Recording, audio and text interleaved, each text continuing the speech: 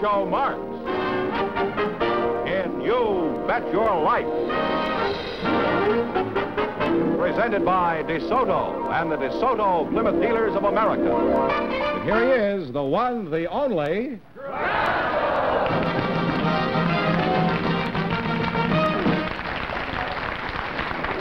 Well, here I am again with a thousand dollars for one of our couples. If any of them say the secret word, they'll win an extra hundred bucks. The word tonight is uh, room. R-O-O-M. Welcome back, Doug. George, who's first? Groucho, Mrs. Betty Hawley, and Dr. Charles L. Camp are waiting to talk to you. So, folks, you go in, please, and meet Groucho Marx. Welcome for the DeSoto Plymouth dealer. Say the secret word, and you each get an extra fifty dollars. It's a common word, something you find around the house. Betty Hawley and Charles, Doctor, Doctor Charles L. Camp, eh? Betty, spelled B-E-T-T-Y-E. Now, why is that, Betty? Why don't you use the regular Orthodox spelling? Well, I have to be different, I guess, Groucho. And I Well, there are other ways, Betty. Oh, no, there aren't. There's only my way. When I was Oh, you're small very positive about it. well, if you hear me out, you'll know. Um, But if I keep hearing you out, I won't have any show. well, anyhow, when I was uh, going... You've seen my show, haven't you? Yes, I have, And You've seen me interrupt people? Yes, I have, and I'm prepared. I'm going on. well, anyhow, when I was going to school, there were... I come from a large Was this family. recently? Uh, Well, no, it's uh, been a couple of years. So anyhow, we got together, and there wasn't uh, anybody in school that spelled their name with an E, Betty with an E on the end. Did so you investigate the whole school and see if there was anybody with an No, E? No, there was seven in our class, and we took a vote on it. Well, uh, where are you from, Betty? Well, Groucho, I was born in Toledo. In Toledo, in Spain, Well, it might be? Spain to you, but it's uh, here in this country, Ohio. Are you Spanish? Well, not so as you can notice it. Well, I wouldn't know how you would notice a thing like that. well, let's say if you're not Spanish, are you married? Yes, I am, Groucho. How'd you meet your husband? Well, I was working as a waitress in this place, and uh, he used What to come in as a customer. This is years ago. Oh. And um, That was the name of it years ago? and he came in as a customer, and I uh, tried to treat him as a customer, but uh, finally we got a little friendly. you mean as a customer you weren't friendly, is that it? Well, after he was a customer of mine for a while, we became friendly. Uh, Dr. Camp, what kind of a, uh, an imposter are you? Uh, I'm a paleontologist, uh, Groucho. you're a what? You're an Italian what? A paleontologist. A Man paleontologist? studies uh, fossil bones and the history of life way back through the rocks. You study fossil bones? Well, doctor, you don't have to look any further, huh? I know I don't have to look any further, Groucho, but you'd be surprised how far you do have to look to go after these things. Well, what brought you to Hollywood, doctor? A dinosaur? Not exactly, Groucho. I came down here to Hollywood to work with Mr. Irwin Allen, who's producing Irwin Allen. Irwin Allen. Yes, he's producing a picture here that they're going to call the Animal World. Didn't he Oh, do the sea uh, around us? Uh, Yes, he did. He Oh, did the sea around us, and that was a very successful picture. I understand this is very He, he wanted me to come down to look over his dinosaurs to see whether they had the right bumps That's on an them. old gag. They used to say, come up and see my etchings. now they say, come over and see my dinosaurs. Yes, they, they should. Now, Doc, who's interested in old bones besides me and the junk man? Just, uh, Oh, there. who do you work for? I work for the University of California. Oh, you're a highbrow, huh? Is there any particular field of paleontology that has engaged your attention? Yes, Groucho, we've written some of these technical papers. A student of mine and I wrote a paper called The Phylogeny and Functions of the Digital Ligaments of the Horse. You mean you, you play the races? Have you got anything good running at Santa Anita? well, Betty, let's get back to you. Uh, what kind of work does your husband do, Betty? Chuck and I own a restaurant called Hawley's Tough Steaks out in Sherman Oaks in uh, San Fernando Valley. Oh, Hawley's Tough Steaks. Uh-huh. Well, what is the reason for this unusual frankness? Well, I don't think there's anything unusual about it. We're just truthful. And Well, you don't think that's unusual? I can't say about the rest of the restaurants, but I know we don't lie. You don't. No, sir, ours are tough steaks, and, I, and I'm here to tell you they're really tough. and if you don't believe it, you come out and try one. Now, do you have frog's legs? Yes, we do. Well, let me see them. Isn't it incredible how they laugh at an ancient wheeze like that? Now tell me one thing, Betty. After your customers have dined on this dubious fare, do they ever agree that the steaks are tough? Well, I can honestly say, and this is one time I am going to tell the truth, that in the 10 years that we've been in business, we have had four legitimate complaints. Hmm. Well, how do they complain? Do through a spirit medium? Well, no. Do they get in touch with Bridey Murphy? No, they were tender, and they had a right to complain. Hmm. Have you told us all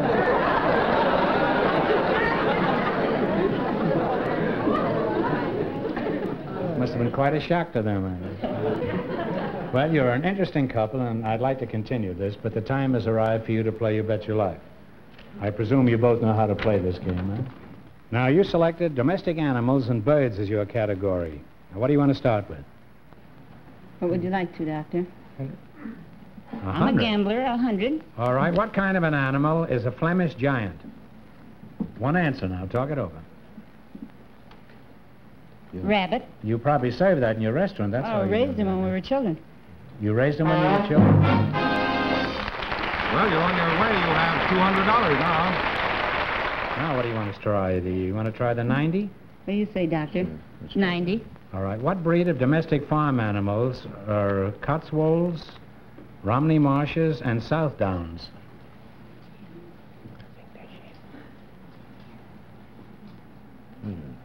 I think so. Sheep. Sheep is right. You now have $290. The sheep at half the price. Now, what are you going to go for? 80. Huh, Doctor? Sure. All right, what breed of domestic animals are Ayrshire's, uh, A-Y-R-S-H-I-R-E-S, Galloways, and Devons? Domestic animals. I think here's, here's a caliber. Cattle. That's right, cattle. You now have $370. And now what? Uh, 70. 70, isn't it? What's the Your last chance to beat the other couples now. All right, what breed of an animal is a hackney? Horse. You say it, Doctor. A horse. It's a horse or a steak at uh, Betty's restaurant. And you wind up with $440. Well, thanks and good luck to the DeSoto Plymouth dealers.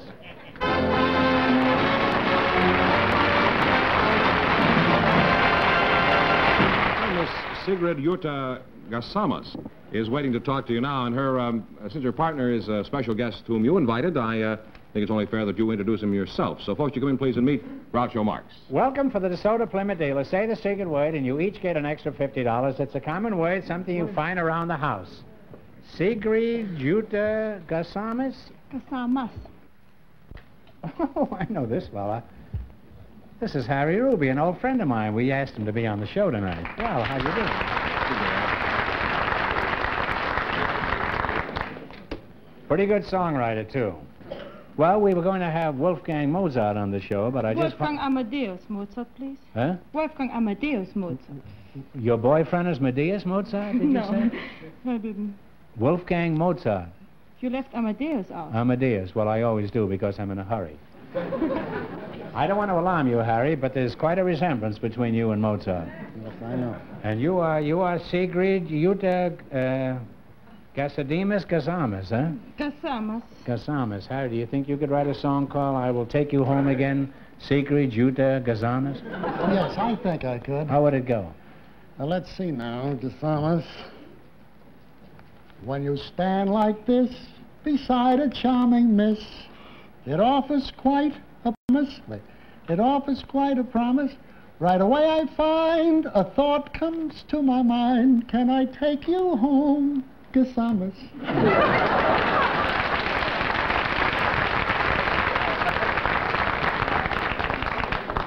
He's just another Shelley and Keats and Byron, that's all. Sigrid, that's your Yes, name? sir. Sigrid, uh, you Yeah. aren't the Sigrid word, are you, uh, Sigrid? Well, it depends. What kind of a name is Gazamas? Uh, Gasamas is a That- Greek name. Were you born in Greece? No, I'm born in Meissen in Germany. Meissen. We have mice in our attic, but we don't. well, are you, are you married? No, sir. Well, would you would you like to get married? Well, let's see if I find the right match. Yes, I would marry. You want to marry a match? You're The looking right for a light match. comedian, huh? The right match. Oh. Well, when do you want to get married? When? Yeah, I mean, uh, pretty soon. As quick as possible if I find the right one, I told you. Well, could you wait till the show is over? Well, Harry, I know you're married, of course. Uh, how long has it been? 20 years. 20 years, huh? That's a long time. Do you have any particular formula for success in marriage? Yes, I have, Groucho. We have a formula that we follow that ensures happiness throughout marriage. We eat breakfast back to back.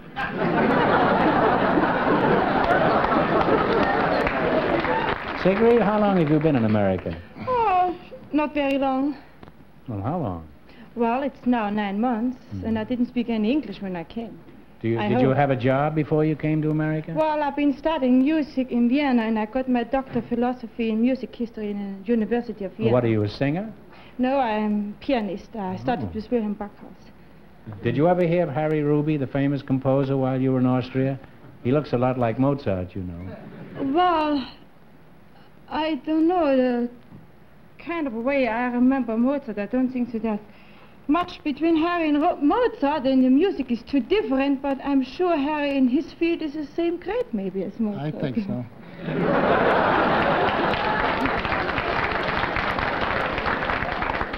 Well, you're certainly get no argument out of you, huh?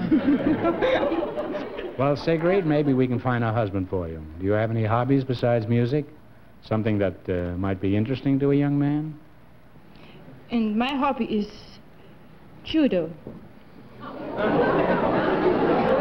Well, I guess every young fellow is interested in a girl who knows judo. You look pretty rugged. How much do you weigh, uh, Sigrid? Well, right now... I mean, strip for gym.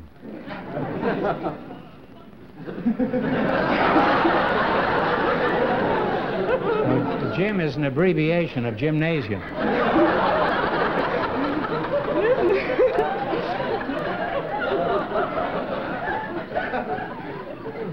Right now, I have a. Well, let's change it. How much do you How much do you weigh? Uh, no, let's forget the whole thing. Well, you can know at 155. It's all muscles, anyhow.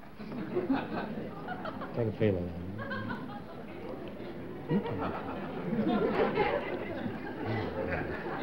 A giantess. huh? You are pretty strong, aren't you, Sigrid? Well, yes, of course I am. I can weigh 100 pounds. I lift it up in one arm and let's go. Well, you mean you mean if, if you were out with a fella, let's say that you were going out with a fella and you were driving around and he put his arm around you and wanted to kiss you, what do you do? Throw him out of the car? no, first of all, it depends. You break his the- back or what? No, it depends who the fellow is and if he gets too nasty. Matter of fact, I broke once of a boyfriend his knee because he just He's- didn't. He sneezed, you say? His knee, yes, we had to fight. You broke his knee? Yes, I did. no, he wanted to learn judo. He did. Well, he certainly learned it all right. he cracked up fast, didn't he? Well, give us a demonstration of your muscles. There might be some eligible young man who is interested in a strong girl. Well, Let's see your muscles. Harry, you better stand back, eh? For that, I of course studied classic music, and Beethoven is my favorite composer. Well, mine too, huh? Yes. Da da da da. exactly that. fifth? Let's do that. Da da dum Da, dum da, da, dum dum dum.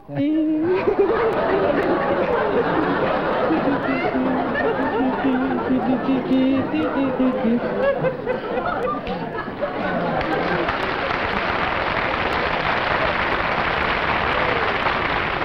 Well, there you are, boys. If there's any man in the country who's interested in a date with Sigrid, just leave your name and number at the box office. and if you're real smart, you'll also leave the name of your neighborhood undertaker. Well, I can be very soft and nice too. oh, you are. You're real sweet, Sigrid. Thank you. Can't say anything about you again. well, let's talk about your career, Harry. It's All been one of the most interesting and successful in the music business, and I think our listeners might like to know some of your background. Some For example, what are some of the big songs you're responsible for? Well, three little words. Who's sorry now? Nevertheless, thinking of you. I want to be loved by you. And about 50 others. He's a very shy fellow. Now, Harry, I've known you for many years, and there are some questions I never have asked you.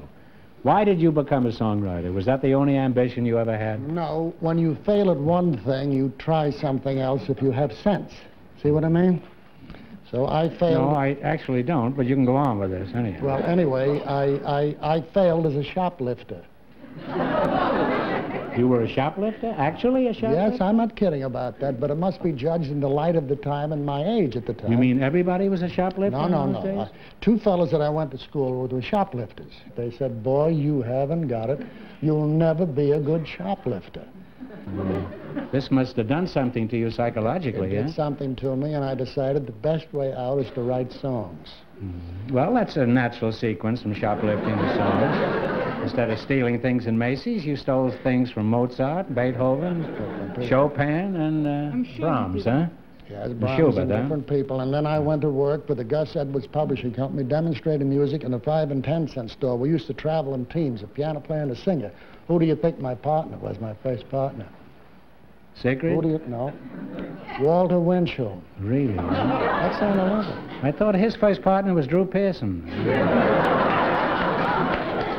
Walter Well, Winchell. did you ever work with anyone uh, else besides Yes, uh, I worked in the five and ten cent store in Atlantic City in two. He worked in one, I worked in the other, George Gershwin. Gershwin. A writer, a songwriter, Never heard of him. composer. I wouldn't know much, and I predicted he'd never amount to anything. I also predicted that Walter Winchell would never amount to anything. You were a pretty shrewd cookie in those days. It's a good thing I hadn't met you at that time. I don't know why you don't get a job as a fortune teller. All you need is a crystal ball and you're home. Huh? Well, enough talk about the songwriting business. How about doing some singing? Are, are you game? You mean you want me to play? I'd like you to play the piano and Well, sing. I didn't know I was going to play anything, so I brought my own piano. You, always, you, you travel by piano? As a rule, when I don't expect to, how are we going to... Hey, maybe... Well, we'd better sig Sigrid. How Show about- those muscles there. Okay. Would you help bring in the piano, eh? huh? This is cute, huh? Get away from there, boys. Sigrid will handle that.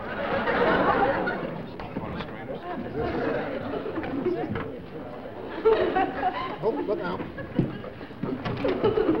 I don't really need your help. All right, Groucho, I'll play a few of my songs. Play uh, some of your own songs first, huh?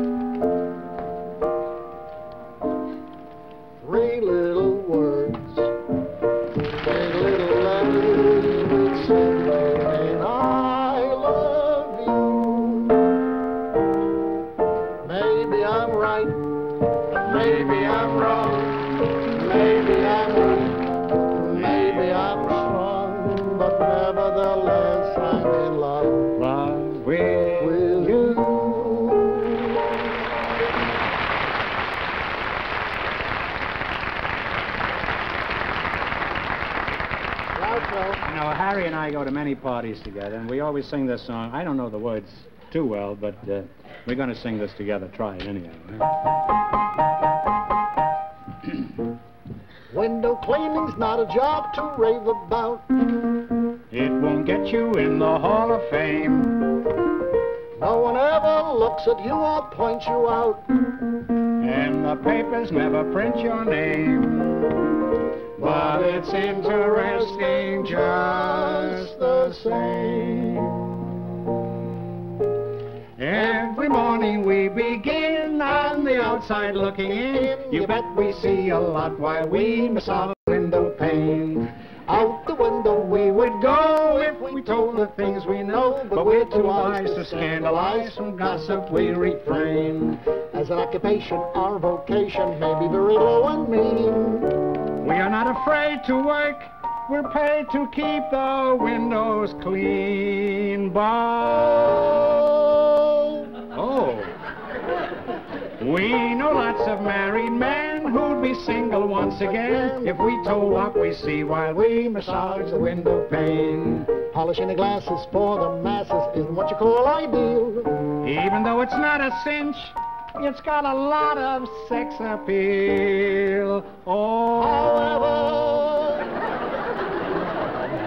but we don't want to advertise. Why should we put husbands wise? If they were wise, there'd be no guys.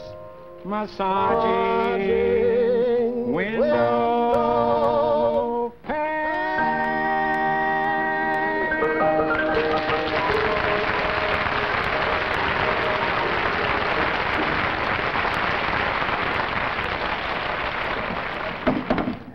Boy, what a husband and wife she'd make, huh? Sigrid, you're a real charmer, and I hope you win a lot of money in the quiz. Thank you. Now, let's play You Bet Your Life and find out.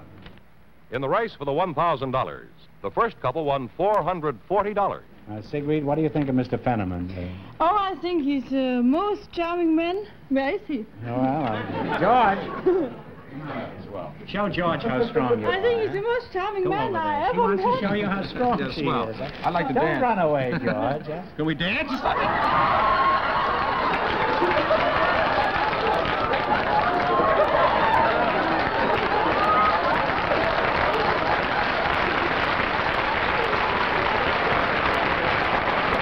Well, you selected the literary quiz. Harry, you ought to be ashamed of yourself. You've done nothing but read books for 40 years, and you take a literary quiz? You're taking advantage of me. I am, huh? All right. Now, remember, the more the question's worth, the harder it is. Now, what do you want to start with? You can go from 10 to 100. And we want one answer.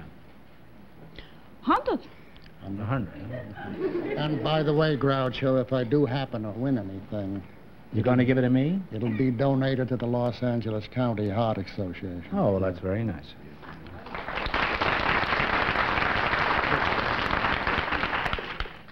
All right, for $100. Edmond Rostand will be remembered for generations because of his classic play. It has also been made into a movie. What is the name of Rostand's great story? Mm, I know that. R O S T A N D S. I know that. I know that, Groucho. I can't think of it. Classic play, famous movie. What's the name of Rostand's great story? I know, and I couldn't think of it. If anybody in the world should know, it's you. Because it's Cyrano. It's what? Cyrano. it. Cyrano. Never heard of Turn, it. turn sideways. now, shouldn't he know Cyrano de Bergerac? I should have All known right, for that. 90, huh?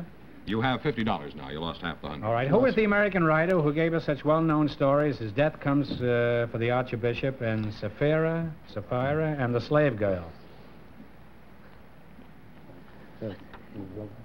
Willa Kate? That's all right. Willa Cather or Catherine. You now have $140. $80? Hmm? 80 Let's try. The celebrated jumping frog of Calaveras County was one of the first stories to come from the pen of what famous American author? Uh, Samuel Clemens, otherwise known as Mark Twain. Lewis and Clark is right. You're right. He's kidding Mark you. That's right. You Uh, have for 70? $220. 70? Uh, 70, it's up to you. He's Don. more clever than I am. I know nothing about American No, literature. 70, All right. One of the classics studied by most school children is The Charge of the Light Brigade. Who wrote it? Oh, What's the name? Tennyson. yes. Tennyson and Lewis and Clark is right. And you wind up with $290. Well, thanks and good luck from the DeSoto Plymouth I Dealer. should have known. Yes, you one. should. Turn around again, Harry. You should have known. Goodbye, Sing.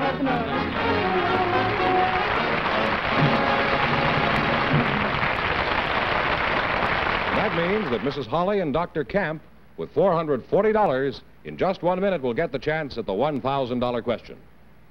Now, before we go on with the show, I'd like to say a few words. You know, a lot of people ask me, why do we have 255 horsepower in the DeSoto? Well, they have it for very specific reasons. They're for reasons of safety, actually. You know, the car, you can go 90 or 100 miles an hour in that car, but that isn't the reason they have that power. They don't want you to drive that fast. But what it's great for is if you're out on the open road, you've got the surge of power there, you just fly ahead, and that's, that's a great safety factor in an automobile. To have that surplus power and to be able to call upon it when you need it. And uh, that's the reason that they have these giant 255 horses cowering under that hood.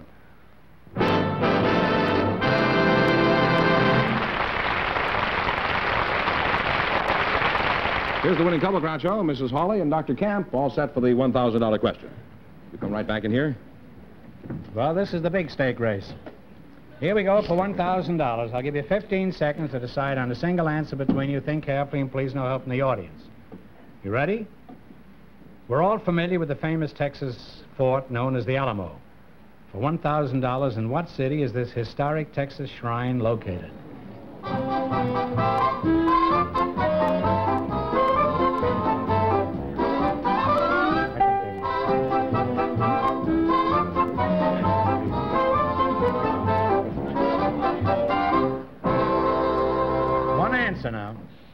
Give it, Doctor. Well, I'll say Houston. Oh, I'm sorry. It's San Antonio. I'm sorry. That means the big question next week will be worth $1,500. Well, you lost the big money, but uh, how much did they win in the quiz, George? Well, they went the uh, complete They went distance. the full limit? 440, 440? yeah. Well, that's not too bad. Congratulations, and much. thanks to all of our contestants on the show tonight. Sorry you didn't win the big one. Thank you. Wes.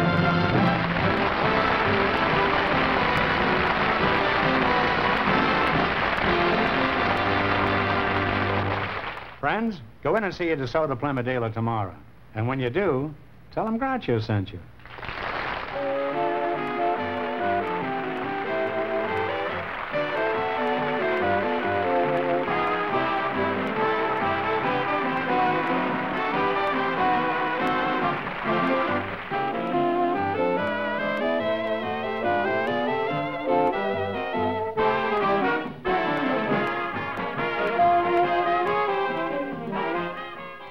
George Fenneman signing off with a message from the National Safety Council. See that children play only in approved play areas, never in the street or near moving traffic.